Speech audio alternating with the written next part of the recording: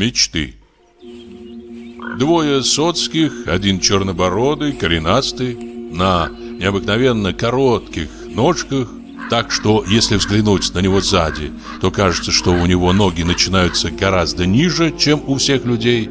Другой, длинный, худой и прямой, как палка, жидкой бороденкой темно-рыжего цвета, конвоирует в уездный город бродягу, не помнящего родства. Первый идет в развалку, глядит по сторонам, жует то соломинку, то свой рукав, хлопает себя по бедрам и мурлычет, вообще имеет вид беспечный и легкомысленный. Другой же, несмотря на свое тощее лицо и узкие плечи, выглядит солидным, серьезным и основательным.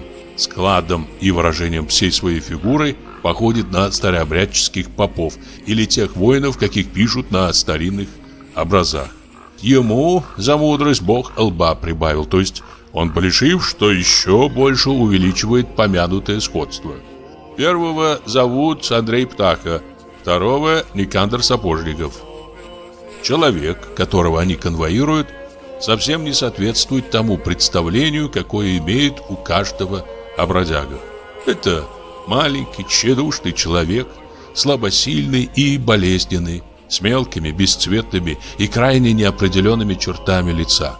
Брови у него жидкие, взгляд покорный и кроткий, усы еле пробиваются, хотя бродяга уже перевалил за 30. Он шагает не смело, согнувшись и засунув руки в рукава. Воротник его не мужицкого, драпового, с потертой ворсой приподнят до самых краев фуражки, так что только один красный носик осмеливается глядеть на свет Божий. Говорит он, заискивающим тенарком, то и дело покашливает. Трудно, очень трудно признать в нем бродягу, прячущего свое родное имя. Скорее, это обнищавший, забытый богом попович-неудачник, прогнанный за пьянство писец, купеческий сын или племянник, попробовавший свои жидкие силишки на актерском поприще и теперь идущий домой, чтобы разыграть последний акт из притчи о блудном сыне.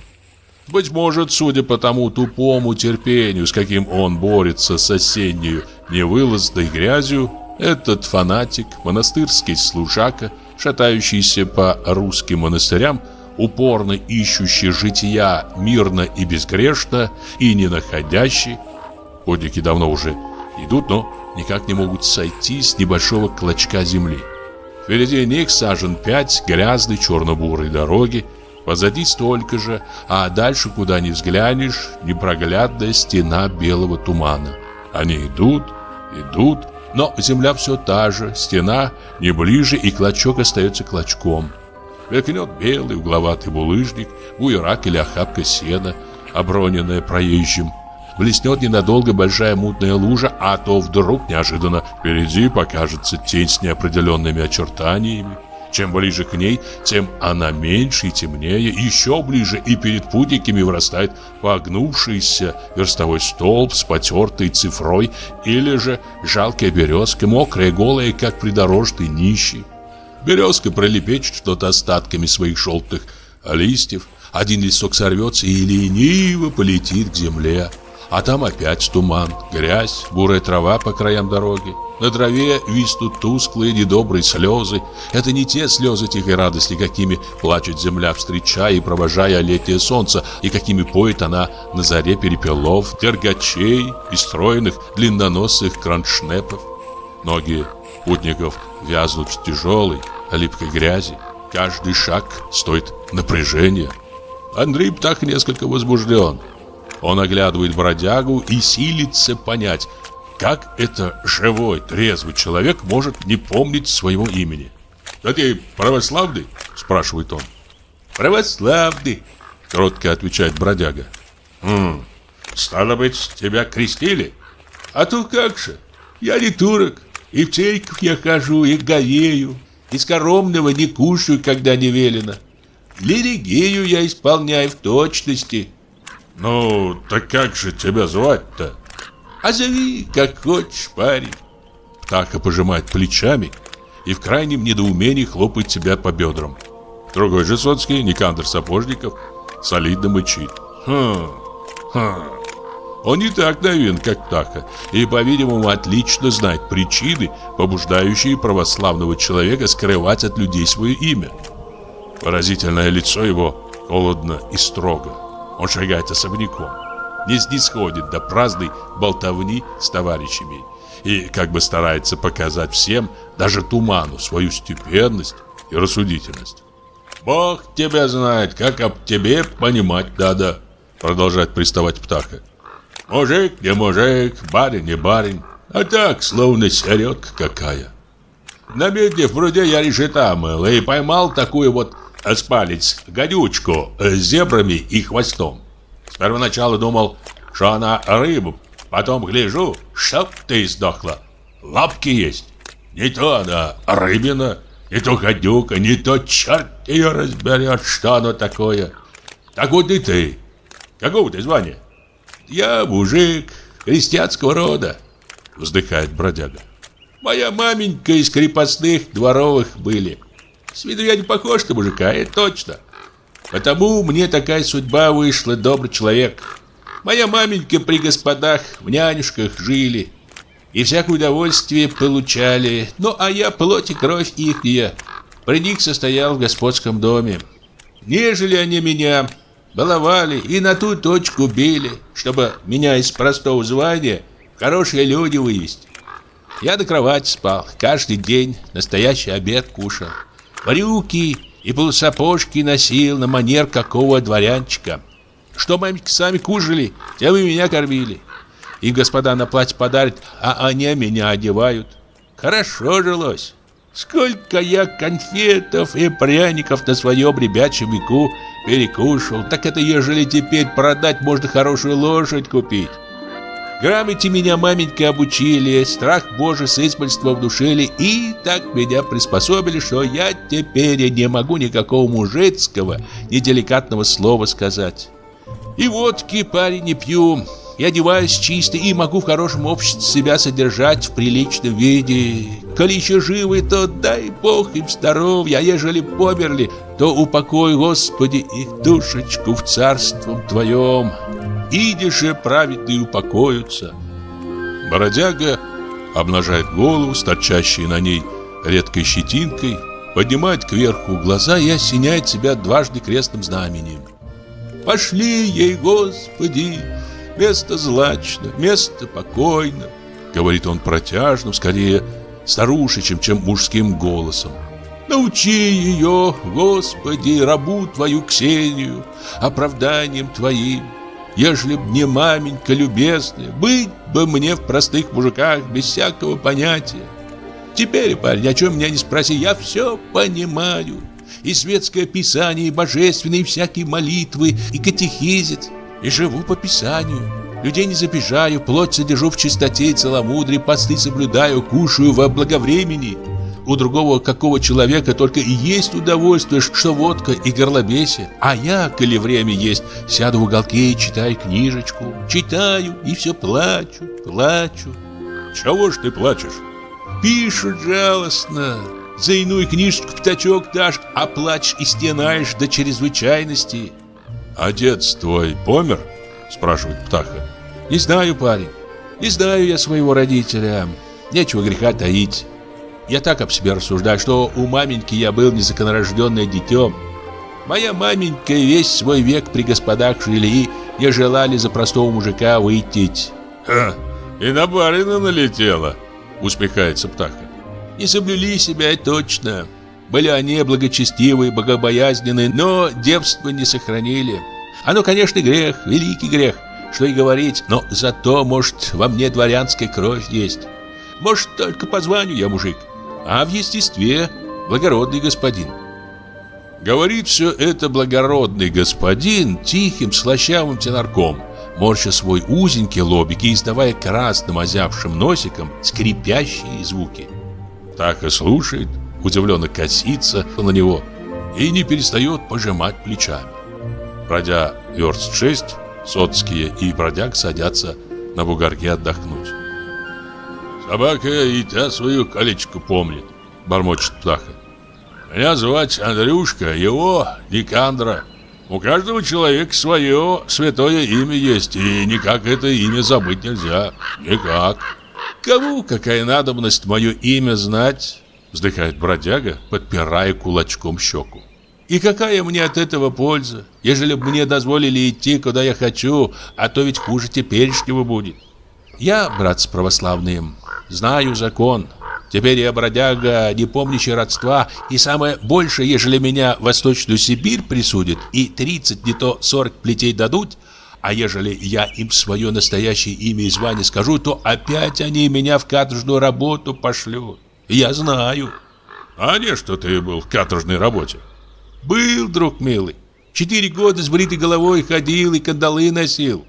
За какое дело? За душегубство, добрый человек. Когда я еще мальчиком был, это годов 18, маменька моя по нечаянности барину за место соды и кислоты мышьяку в стакан всыпали. Коробок разных в кладовой много было, перепутать нетрудно. Бродяга вздыхает, покачивает головой и говорит. Они благочестивые были, но кто их знает, чужая душа, дремучий лес. Может, по нечаянности, а может, не могли в душе своей той обиды стерпеть, что барин к себе новую слугу приблизил. Может, нарочно ему всыпали, бог знает. Мал я был тогда и не понимал всего. Теперь я помню, что барин действительно взял себе другую наложницу, и маменька сильно огорчились. Почитай, нас потом года два судили. Мамику осудили на каторгу на 20 лет, меня за мое малолетство только на 7. А тебя за что? Как пособника. Стакан-то барину я подавал. Всегда так было. Маменька приготовляла соду, а я подавал.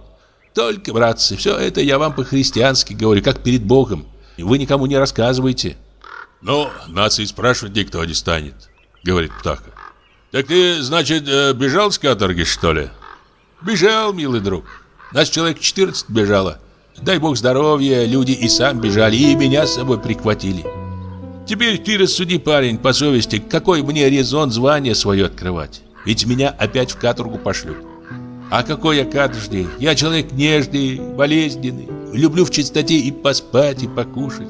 Когда Богу молюсь, я люблю лампадочку или свечечку засветить, и чтобы кругом шуму не было. Когда земные поклоны кладу, чтобы на полу насорено и наплевано не было. А я за маменьку сорок поклонов кладу утром и вечером. Бродяга снимает фуражку и крестится. А Восточную Сибирь пущай ссылают, говорит он. Я не боюсь. Не что это лучше. Совсем другая статья. В каторге ты все равно, что рак в лукошке. Теснота, давка, толчая, духу перевести негде. Сущий ад. Такой ад, что ни и не приведи цариц небесная. Разбойник ты, и разбойничать тебе честь. Хуже собаки всякой. Ни покушать, ни поспать, ни Богу помолиться. А, а на поселение не то. На поселение первонаперво я к обществу припишусь на манер прочих. По закону начальство обязано мне пай дать. Да, Земля там рассказывать ни почем, все равно как снег. Бери сколько желаешь. Дадут мне, парень, землю и под пашню, и под огород, и под жилье. Стану я, как люди, пахать, сеять скот, заведу и всякое хозяйство, пчелок, овечек, собак, кота сибирского, чтобы мыши и крысы добра моего не ели. Поставлю сруб, братцы, образов накуплю. Бог даст, оженюсь, деточки у меня будут. Бродяга бормочет и глядит не на слушателей, а куда-то в сторону. Как не наивны его мечтания, но они высказываются таким искренним, задушевным тоном, что трудно не верить им. Маленький ротик бродяги перекосило улыбкой, а все лицо и глаза и носик застыли и отупели от блаженного предвкушения далекого счастья. Соцкие слушают и глядят на него серьезно, без участия. Они тоже верят. «Не боюсь я Сибири», — продолжает бормотать бродяга. «Сибирь, такая же Россия, такой же Бог и Царь, что и тут, так же там говорят по-православному, как и я с тобой. Только там приволье больше, и люди богаче живут. Все там лучше, тамшние реки, к примеру, взять куда лучше тутшних. Рыбы, дичины этой самой видимо-невидимо. А мне, братцы, наипервейшее удовольствие рыбку ловить. Хлеба меня не корми, а только дай с удочкой посидеть, ей-богу. Ловлю я и на удочку, и на жерлицу, и верши ставлю. А когда лед идет, наметкой ловлю. Силы-то у меня нету, чтоб наметкой ловить. Так я мужика за пятачок нанимаю. И, господи, что оно такое за удовольствие? Поймаешь налива или головля какого-нибудь, так словно брата родного увидел. И скажи, пожалуйста, для всякой рыбы своя умственность есть. Одну на живца ловишь, другую на выползка, третью на лягушку или кузнечка. Все ведь это понимать надо. К примеру сказать, налим. Налим рыба неделикатная, она и ершак хватит. Щука, пескаря любит, шелешпер, бабочку. Головля, ежели на бырком месте ловить, то нет лучше и удовольствия. Пустишь леску сажени в 10 без грузила, с бабочкой или с жуком, чтобы приманка поверху плавала. Стоишь в воде без штанов и пускаешь по течению, а голавль дерг. Только тут так норовить надо, чтобы он, проклятый, приманку не сорвал. Как только он чикнул тебе за леску, так и подсекай, нечего ждать. Страсть! Сколько я на своем веку рыбы переловил! Когда вот в бегах были, прочие арестанты спят в лесу, а мне не спится, норовлю к реке. А реки там широкие, быстрые, берега крутые, страсть! По берегу все леса дремучие, деревья такие, что взглянешь на маковку и голова кружится. Ежели по тутошним ценам, то за каждую сосну можно рублей 10 дать. Под беспорядочным напором грез, художественных образов прошлого и сладкого предчувствия счастья, жалкий человек умолкает и только шевелит губами, как бы шепчать самим собой. Тупая, блаженная улыбка не сходит с его лица.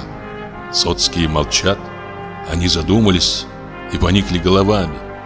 В осеннюю тишину, когда холодный суровый туман земли ложится на душу, когда он тюремной стеною стоит перед глазами и свидетельствует человеку об ограниченности его воли. Сладко бывает думать о широких, быстрых реках с привольными крутыми берегами, о непроходимых лесах, безграничных степях. Медленно и покойно рисует воображение, как ранним утром, когда с неба еще не сошел румянец зари, по безлюдному крутому берегу маленьким пятном пробирается человек – Вековые мачтовые сосны, громоздящиеся террасами по обе стороны потока, сурово глядят на вольного человека и угрюмо ворчат. Корни, громадные камни и колючий кустарник заграждают ему путь, но он силен плотью и бодр духом, не боится ни сосен, ни камней, ни своего одиночества, ни раскатистого эха, повторяющего каждый его шаг. Соцкие рисуют себе картины вольной жизни, какую они никогда не жили. Смутно ли припоминают они образы давно слышанного, или же представления о вольной жизни достались им в наследство вместе с плотью и кровью от далеких вольных предков? Бог знает. Первый прерывает молчание Никандр Сапожников, который доселе не проронил еще ни одного слова. Позавидовал ли он прозрачному счастью бродяги или, может быть, в душе почувствовал, что мечты о счастье не вяжутся с серым туманом и черно-бурой грязью, но только он сурово глядит на бродягу и говорит «Так-то оно так, все оно хорошо, только, брат, не доберешься ты до привольных местов. Где тебе? Верст триста пройдешь и Богу душу отдашь. Видишь ты, какой дохлый. Шесть верст прошел только, а никак отдышаться не можешь. Бродяга медленно поворачивается в сторону Никандра, и блаженная улыбка исчезает с его лица. Он глядит испуганно виновато на степенное лицо Соцкого, по-видимому, припоминает что-то и паникает головой. Опять наступает молчание. Все трое думают. Соцкий напрягает ум, чтобы обнять воображением то, что может вообразить себе разве что разве один только Бог, а именно то страшное пространство, которое отделяет их от вольного края. В голове же бродяги теснятся картины ясные, отчетливые и более страшные, чем пространство. Перед ним живо вырастает судебная волокита, пересыльные каторжные тюрьмы, арестантские барки, томительные остановки на пути, студеные зимы, болезни, смерти товарищей. Бродяга виновато моргает глазами, вытирает рукавом лоб, на котором выступают мелкие капли, и отдувается, как будто только что выскочил из шарко натопленной бани. Потом вытирает лоб другим рукавом и боязливо оглядывается. «И впрямь тебе не дойти», — соглашается Птах. «Какой ты ходок? Погляди на себя, кожа до кости. Умрешь, брат». «Известно, помрет. Где ему?» — говорит Никандр. «Его и сейчас в госпиталь положат». «Верно». Непомнящий родства с ужасом глядит на строгие, бесстрастные лица своих зловещих спутников. И не снимая фуражки, выпучив глаза, быстро крестится. Он весь дрожит, трясет головой, и всего его начинает корчить, как гусеницу, на которой наступили. «Ну, пора идти», — говорит Никандр, поднимаясь. «Отдохнули». Через минуту будники уже шагают по грязной дороге. Бродяга еще больше согнулся и глубже засунул руки в рукава. Птаха молчит. Антон Павлович Чехов. Мечты. Читал Джахангир Абдулаев. 22 мая 2022 год.